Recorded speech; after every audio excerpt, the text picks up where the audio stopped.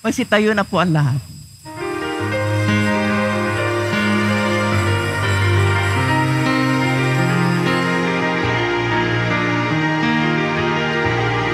ating dakilain at sambahin ang Panginoong butin.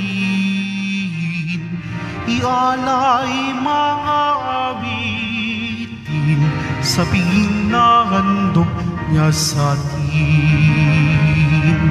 Tayo'y magbigay gala sa Diyos na sa atin may lalang tanay inakoni at hinirang kawang iniingatan ating dakilain at sambahin ang Panginoong butin. Ikalay mga awitin sa piging na handog niya sa atin. Simulan na po natin ang ating banal na pagdiriwang sa ngalan ng Ama, ng Anak at ng Espiritu Santo. Amen. Ang pagpapala ng ating Panginoong Kristo, ang pag-ibig ng Diyos Ama, at ang pakikipagkaisa ng Espiritu Santo naway suminyong lahat. At sumaiyo rin. Mga kapatid, aminin natin ang ating mga kasalanan upang tayo ay maging marapat gumanap sa banal na pagdiriwang. Inaamin ko sa makapangyarihang Diyos At sa At sa- inyo, mga kapatid, na luba akong nagkasala sa isip, sa salita at sa gawa, at sa aking pagkukulang, kaya isinasamo ko sa mahal na Bering Maria, sa lahat, sa lahat ng mga anghel at, at mga banal, at sa inyo mga kapatid, na ako'y ipanalangin sa Panginoong atin. ating Diyos. Kaawaan tayo ng makapangyarihang Diyos, patawarin tayo sa ating mga kasalanan, at patnubayan tayo sa buhay na walang hanggan. Amen. Panginoon, kaawaan mo kami. Panginoon, kaawaan mo kami. Kristo, kaawaan mo kami. Kristo, kaawaan mo kami. Panginoon, kaawaan mo kami. Panginoon, kaawaan mo kami. Manalangin tayo. Ama naming makapangyarihan, manatili kang kapiling ng iyong sambayanan na iyong laging kinahahabagan at pinagbibigyan upang ang itinampok ng iyong pamumuno at pagsubaybay ay muli mong ikalugod at panatilihin mong kinalulugdan sa pamamagitan ng Yesu Kristo kasama ng Espiritu Santo magpa sa walang hanggan. Amen. Magsiupo muna ang lahat.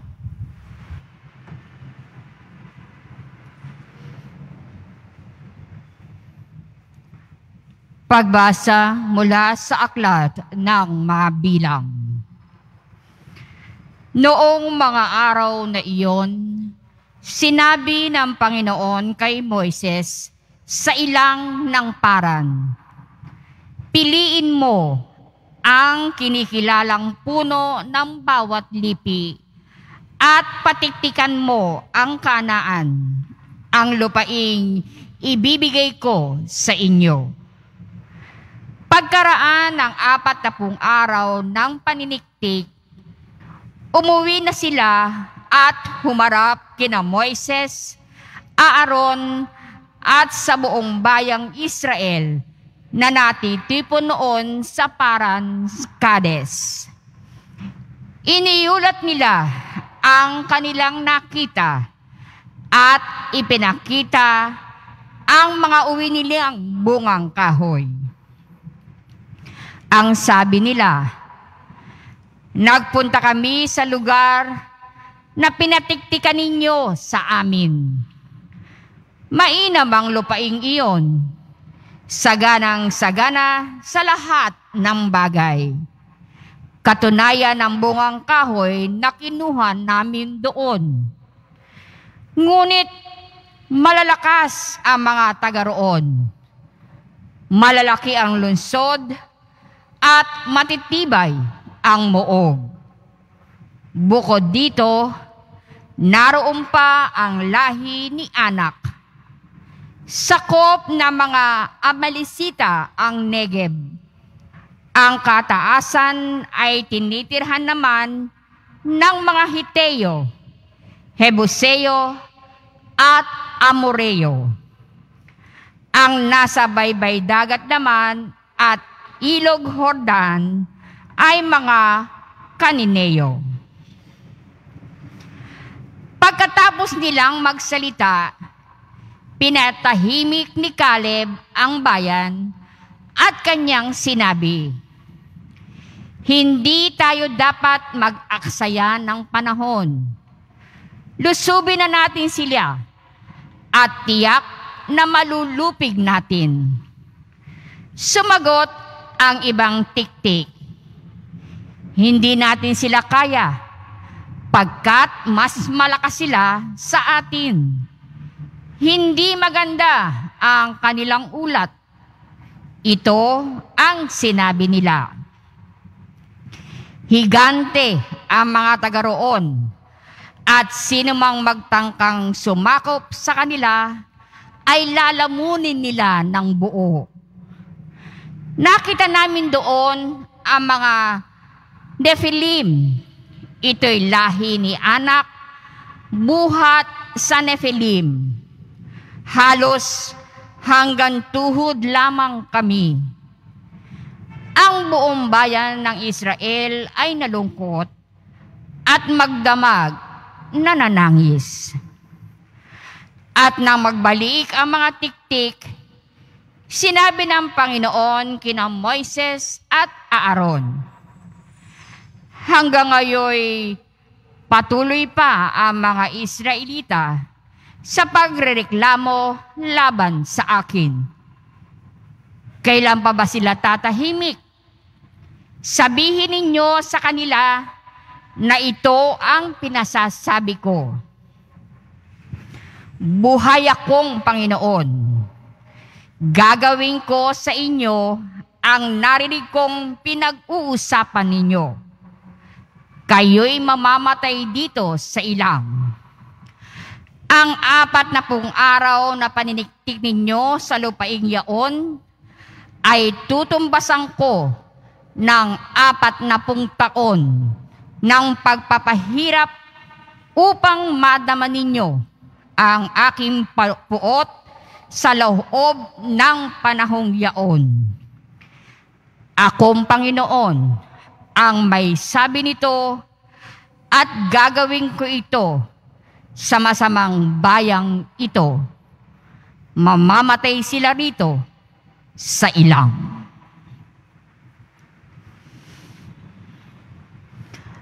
Ang salita ng Diyos. Salamat sa Diyos. Panginoong masintahin, ang bayan mo'y gunitain. Panginoong masintahin, ang bayan mo'y gunitain. Nagkasala kami tulad ng ginawa ng aming magulang. Ang aming ginawa'y tunay na ditumpak, pawang kasamaan. Ang magulang namin nang nasa Ehipto, hindi alumana ang kahanga-hangang mga ginawa mong kanilang nakita. Panginoong masintahin, ang bayan mo'y gunitain. Parang ningas kugon ang lahat ng ito'y kanilang nilimot. Sariling balangkas ang sinunod nila, hindi ang sa Diyos. Habang nasa ilang, ang sariling hilig ang siyang sinunod. Sa ilang na iyo'y kinalaban nila sinubok ang Diyos. Panginoong masintahin, ang bayan mo'y gunitain. Kanilang nilimot ang Panginoon Diyos, ang tagapagligtas. Nayaong ginawa doon sa Ehipto'y kagila-gilalas. Sa lupaing iyon, ang ginawa niya'y tunay na himala. Sa dagat na tambo, iyaong nasaksihan ay kahanga-hanga. Panginoong masintahin, ang bayan mo'y gunitain. Ang pasya ng Diyos na ginawa nila ay lipulin pagdaka. Agad na dumulog sa puon si Moises na magitan siya at hindi natuloy iyaong kapasyahan nalipulin sila. Panginoong masintahin, ang bayan mo'y gunitain. Magsitayo po ang lahat. Alleluia, Alleluia,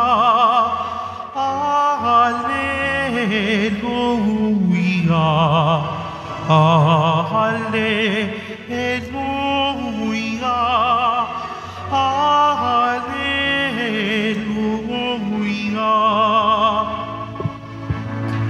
Narito at dumating na isang dakilang propeta, sugo ng Diyos sa bayan niya.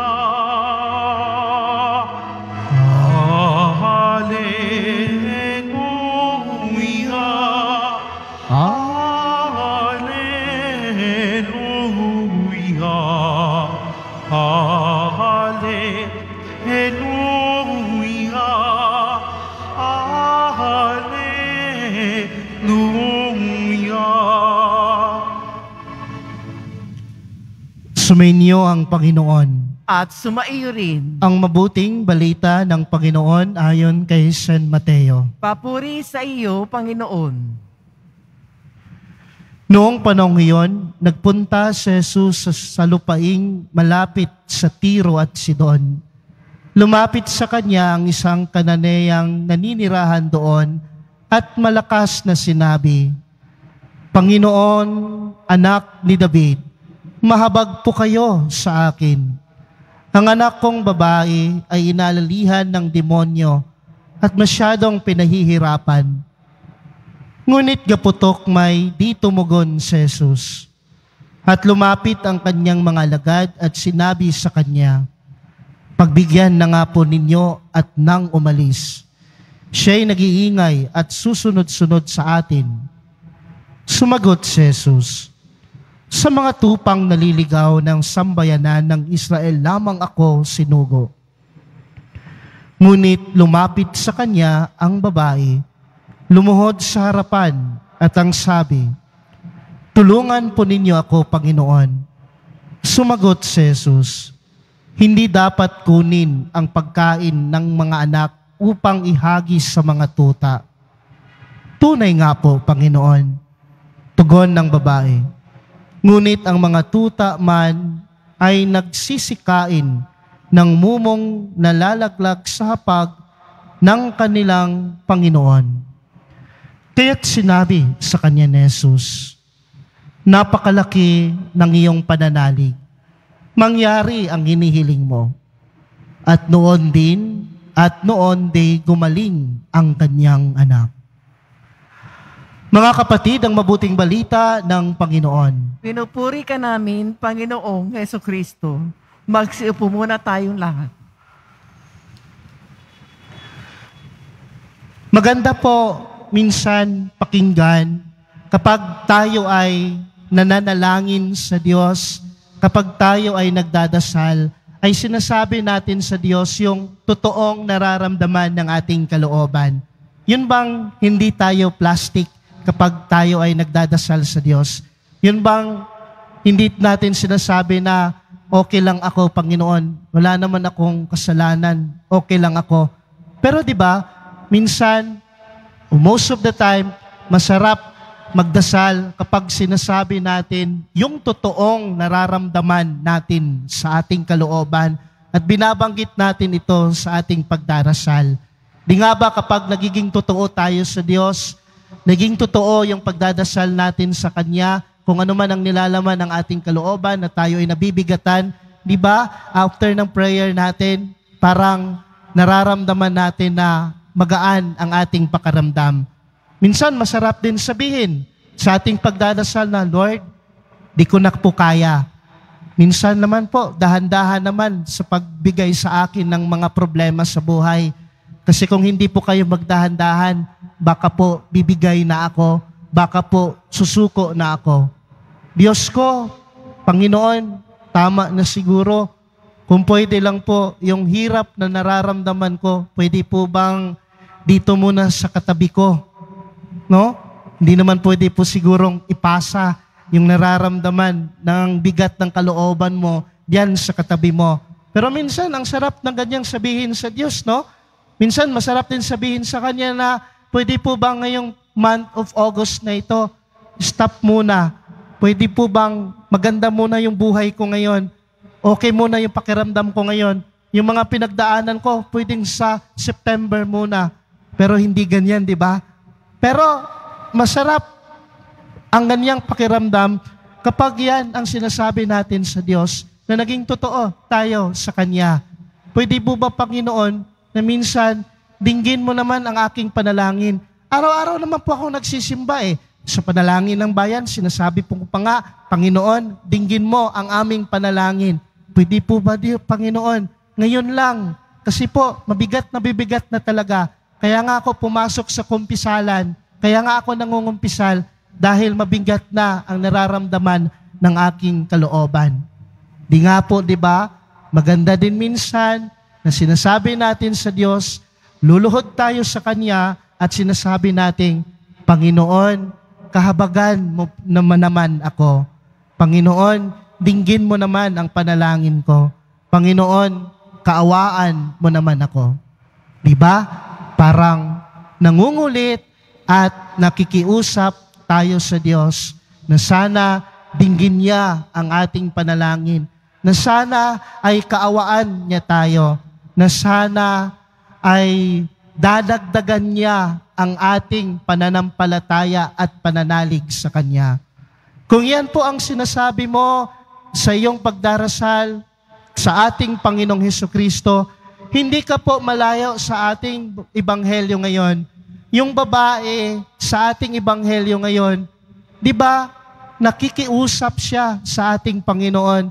O sabihin natin sa wika natin, kinukulit niya ang ating Panginoong Heso Kristo, nakahabagan at kaawaan siya. At yan yung na, nakakapagpagaan sa kanyang pakiramdam. Yun, yung, yun bang sinasabi niya ng totoo na walang pag-aalinlangan sa kanyang panaghoy na lapitan niya ang ating Panginoon na kahabagan siya. He's, he's very honest to the Lord kasi may nangyari sa buhay niya. Meron siyang gustong hilingin sa Diyos. At sa kanyang paghihiling sa Diyos, yung nakikiusap siya, nagmamakaawa siya, nakahabagan, tay, kahabagan siya ng Diyos. Masarap banggitin sa Diyos, masarap din pakinggan na nagmamakaawa tayo sa Diyos na sasabihin niya sa atin, sige na nga, dahil makulit ka, sige na nga, dahil ang tindi ng pananalig mo, ang tindi ng pananampalataya mo, yung mga hinihiling mo ay mangyari sa buhay mo. Mga kapatid, parang yan ang panyaya sa ating ibanghelyo ngayon. Na maging totoo tayo minsan, most of the time, sa ating pagdadasal. Kung gusto natin, nakaawaan tayo ng Diyos, hilingin natin yan sa Diyos. Kung gusto natin, nakahabagan tayo sa Diyos, kulitin natin ng Diyos. Maging totoo tayo kung anuman ang nararamdaman natin dito sa ating kalooban. Masarap banggitin yan sa Diyos. Nakakagaan ng kalooban.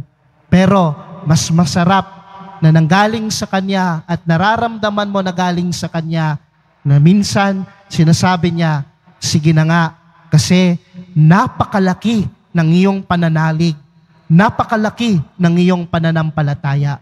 Pagagaanin ko ang iyong kalooban.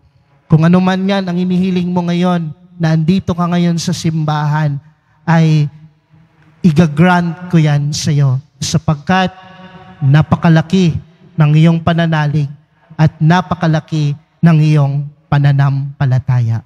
Ang pananalig at pananampalataya, mga kapatid, ito ang sandalan natin ito ang naging lakas natin.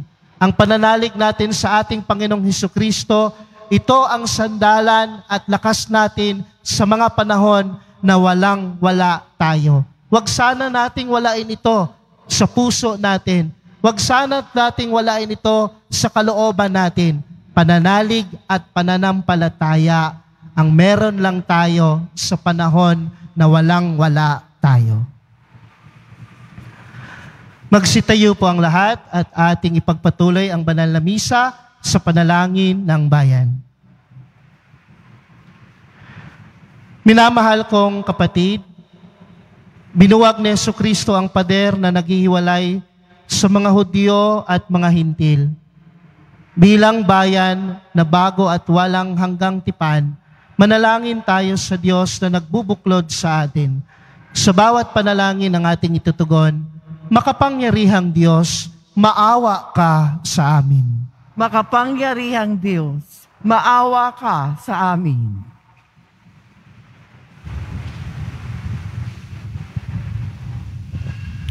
ang simbahan sa lahat ng dako naway maging daan ng habag, kapayapaan at pag-ibig ng Diyos. Manalangin tayo. Makapangyarihang Diyos, maawa ka sa amin. Bilang isang komunidad ng mga sumasampalataya, naway huwag tayong maghiwa-hiwalay ng mga walang halagang hadlang ng galit at alitan. Manalangin tayo. Makapangyarihang Diyos, maawa ka sa amin.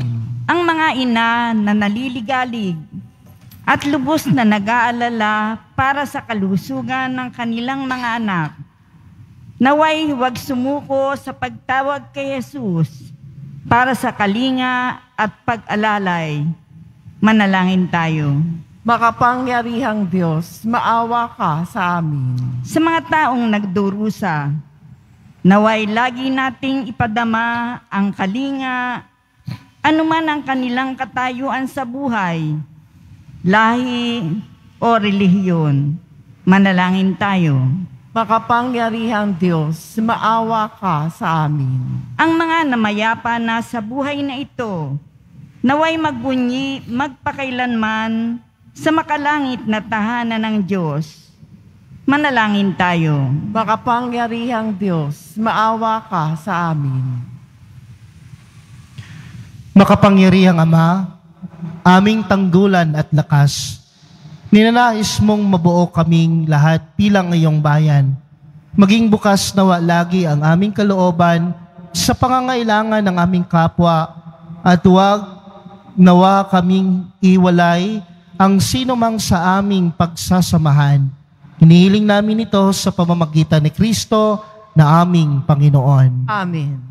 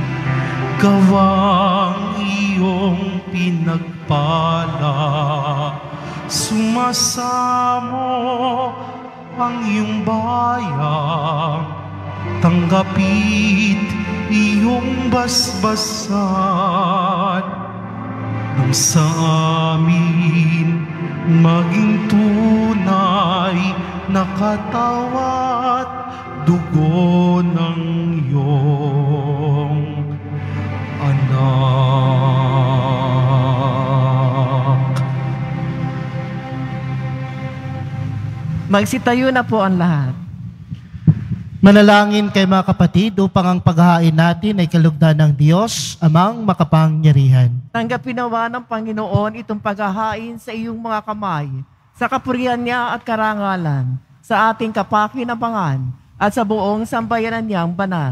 Ama naming lumikha, para mo ng awa, gawin mong banal ang mga alay naming iyong sanang kalugdan, at kami ay gawin mong haing sa iyong laging nakalaan, sa pamamagitan ng Yesu Kristo kasama ng Espiritu Santo magpa sa walang hanggan. Amen. Sumainyo ang Panginoon. At sumaiyo rin. Itaas sa Diyos ang inyong puso at diwa. Itinaas na namin sa Panginoon. Pasalamatan natin ng Panginoong ating Diyos. Marapat na siya ay pasalamatan. Ama naming makapangyarihan, tunay ngang marapat na ikaw ay aming pasalamatan sa pamamagitan ni Yeso Kristo na aming Panginoon. Pinagbibigyan mong ito ay aming maihayag kahit na ito ay walang anumang maidaragdag sa kadakilaang sa iyo ay likas. Sa pagpupuri namin, ang nakikinabang ay kami rin iyong pinakikiharapan sa pamamagitan ng iyong anak na minamahal. Kaya kaysa ng mga anghel na nagsisiawit ng papuri sa iyo nang walang humpay sa kalangitan, kami nagbubunyi sa iyong kadakilaan. Santo, Santo, Santo, Panginoong Diyos na mga hukbo, napupuno ang langit at lupa ng kadakilaan mo. O sana sa kaitaasan, pinagpala ang naparirito sa ngala ng Panginoon. O sana sa kaitaasan, magsiluhod po ang lahat. Ama naming banal, ikaw ang bukal ng tanang kabanalan, kaya't sa pamamagitan ng iyong Espiritu, gawin mong banal ang kaloob na ito upang para sa amin maging katawan at dugo ng aming Panginoong Heso Kristo. Bago niya pinagtiis ang kusang loob na maging handog, hinawakan niya ang tinapay, pinasalamatan kanya, pinaghati-hati niya yon, iniabot sa kanyang mga lagad at sinabi, Tanggapin ninyong lahat ito at kanin. Ito ang aking katawan na ihahandog para sa inyo.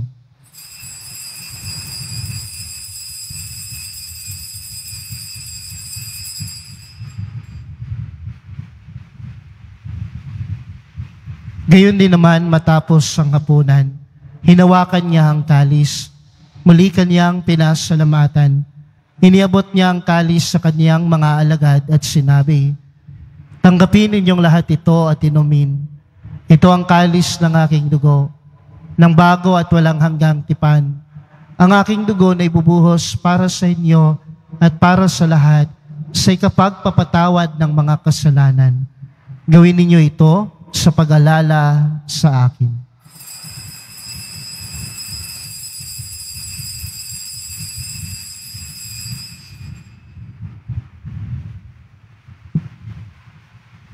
Magsitayo na po ang lahat. Ang misteryo ng pananampalataya. Si Kristo'y namatay, si Kristo'y nabuhay, si Kristo'y babalik sa wakas ng panahon. Ama, ginagawa namin ngayon ang pag-alala sa pagkamatay at muling pagkabuhay ng iyong anak. Kaya't iniaalay namin sa iyo ang tinapay na nagbibigay buhay at ang kalis na nagkakaloob ng kaligtasan. Kami nagpapasalamat dahil kami ay iyong minarapat na tumayo sa iyo na tumayo sa harap mo para maglingkod sa iyo. Isinasamo namin kami magsasalo-salo sa katawan at dugo ni Kristo ay mabuklod sa pagkakaisa sa pamamagitan ng Espiritu Santo. Ama, lingapin mo ang iyong simbahang laganap sa buong daigdig. Puspusin mo kami sa pag-ibig. Kay San Francisco na aming Santo Papa at ni Jose na aming Arsobispo at ng Tanang Kaparian. Alalahanin mo rin ang mga kapatid naming nahimlay nang may pag-asang sila ay muling mabubuhay, gayon din ng lahat ng mga pumanaw. Kaawaan mo sila at patuloyin sa iyong kaliwanagan. Kaawaan mo at pagindapatin kaming lahat na makasalo sa iyong buhay na walang wakas. Kaysa ng mahal na Bereng Maria na ina ng Diyos, ng kabiyak ng puso niyang si San Jose, kaysa ng mga apostol, ni San Juan Bautista, at ng lahat ng mga banal na namuhay dito sa daigdig ng kalugod-lugod sa iyo. May pagdiwang nawa namin ang pagpupuri sa kararangal mo sa pamamagitan ng iyong anak na aming Panginoong Heso Kristo. Sa pamamagitan ni Kristo, kasama niya at sa Kanya, ang lahat ng parangal at papuri ay sa iyo, Diyos, amang makapangyarihan, kasama ng Espiritu Santo, magpa sa walang hanggan. Amen.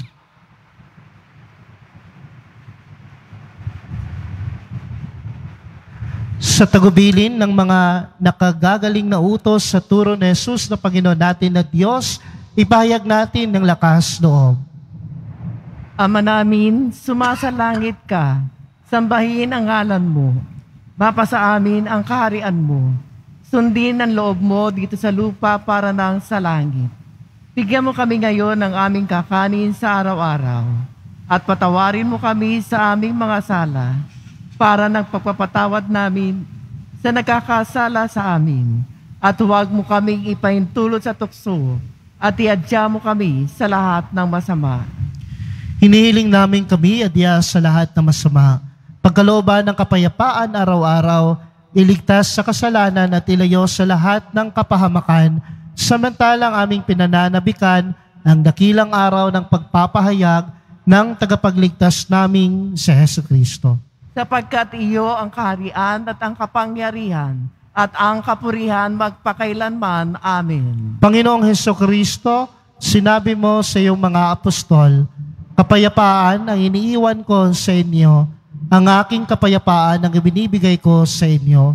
Tunghayan mo ang aming pananampalataya at huwag ang aming pagkakasala. Pagkalooban mo kami ng kapayapaan at pagkakaisa ayon sa iyong kalooban, kasama ng Espiritu Santo, magpa sa walang hanggan. Amen. Ang kapayapaan ng Panginoon ay laging suminyong lahat. At, at sumaiyo rin. Magbigayan po tayo ngayon ng kapayapaan sa isa't isa.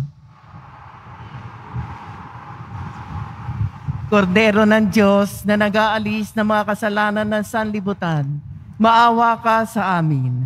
Kordero ng Diyos na nag-aalis ng mga kasalanan ng sanlibutan, maawa ka sa amin.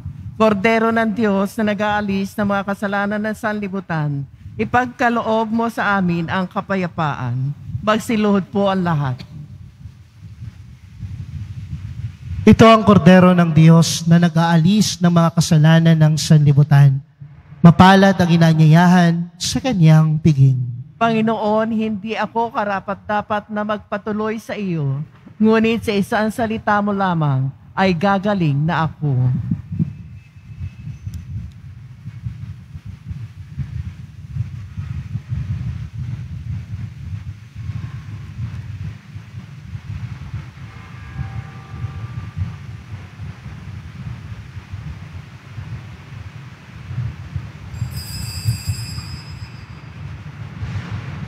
Para sa lahat ng tatanggap ng banal na komunyon, sasagot po tayo ng amin pagkasabi ng pari o ng lay minister ng katawan ni Kristo at isubo agad sa bibig bago umalis sa harapan ng pari o lay minister. Sumunod po tayo. Maraming salamat po.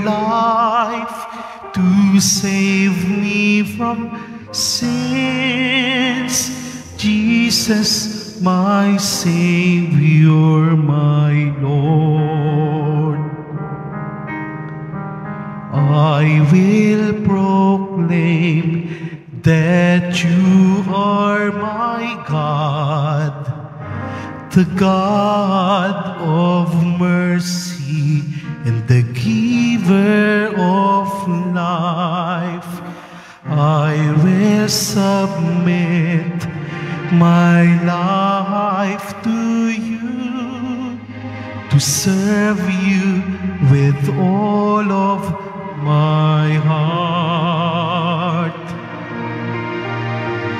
You are my hope and my strength.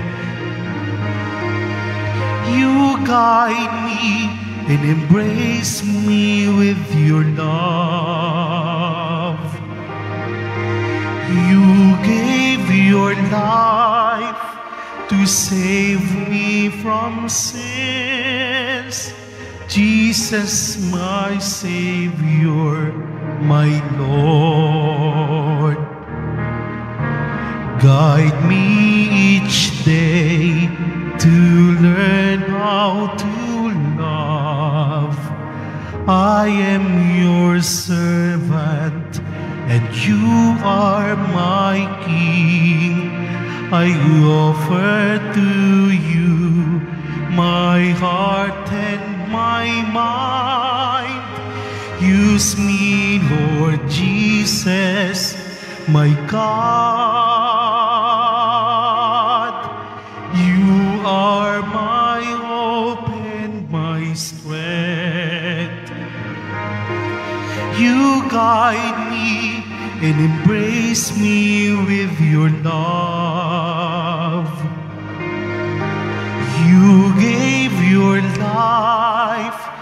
Save me from sins. Jesus, my Savior, my Lord. Jesus, my Savior, my Lord.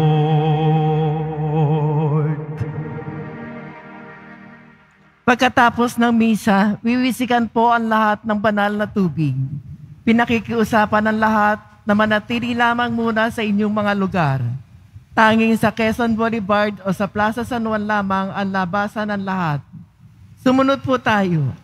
Maraming salamat po sa inyong pagdalaw at pagsisimba sa Basilica Menor at Pambansang Dambana ni Jesus Nazareno. Magsitayo na po ang lahat. Manalangin tayo.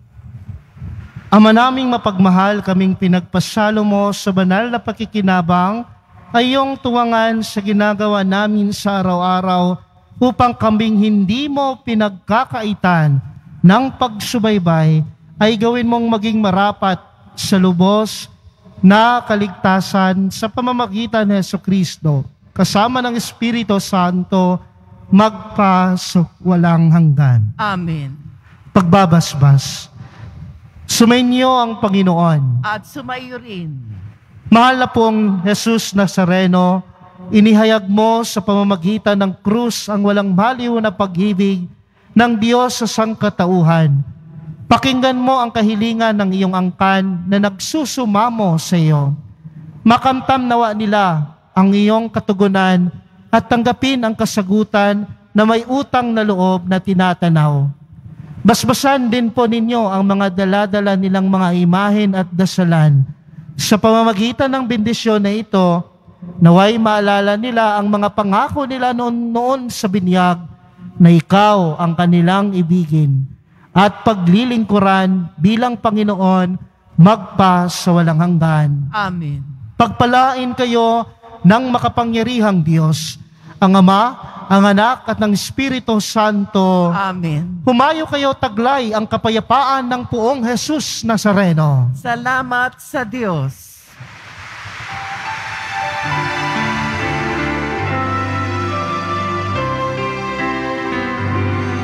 Nuestro Padre Jesus Nazareno, sinasamba ka namin. Pinipinto ka namin. Aral mo ang aming buhay at kaligtasan. Nuestro Padre Jesus Nazareno, iligtas mo kami sa kasalanan. Ang krus mong kinamatayan ay sagisag ng aming kaligtasan. Nuestro Padre Jesus Nazareno, dinarangal ka namin. Nuestro Padre Jesus Nazareno, nilulwalhati ka namin. Nuestro Padre Jesus Nazareno, dinarangal ka. nuestro Padre Jesús Nazareno, ninulwalhati na